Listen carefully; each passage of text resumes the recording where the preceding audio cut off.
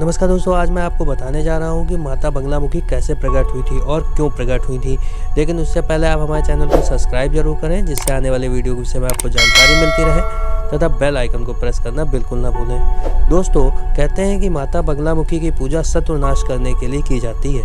कहते हैं, जो भी व्यक्ति माता बंगलामुखी की पूजा करते हैं, उनके शत्रु स्वतः ही नष्ट हो जाते हैं। जिस प्रकार अग्नि को देखकर कीड़े मकोड़े भस्म हो जाते हैं, उसी तरीके देवी के भक्तगणों के शत्रु भी नष्ट हो जाते हैं।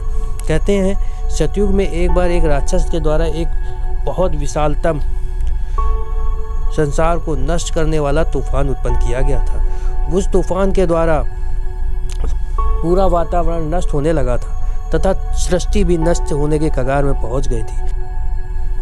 एवं संसार में त्राही मचने लगी थी, जीवों की मृत्यु होने लगी थी। तब सभी देवताओं को अत्यंत चिंता हुई और वह इस चिंता को लेकर भगवान विष्णु के समीप गए। तब भगवान विष्णु ने हजरा सरोवर के किनारे महादेवी त्रिपुर सुंदरी को प्रसन्न करने के लिए एक दिव्य यज्ञ तथा घोर तपस्या की। उस तपस्या के कारण देवी बंगलामुखी प्रकट हुई और उन्होंने अपनी योग शक्ति के द्वारा उस तूफ़ान को समाप्त कर दिया तथा उस राक्षस का वध कर दिया।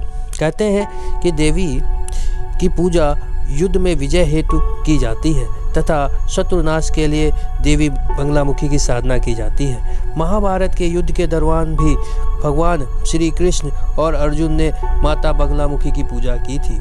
माता बंगलामुखी ने अर्जुन को वर दिया था कि मैं उस युद्ध में तुम्हारा साथ दूँगी। तत्पश्चात माता की कृपा से अर्जुन महाभारत का युद्ध जीत पाए थे।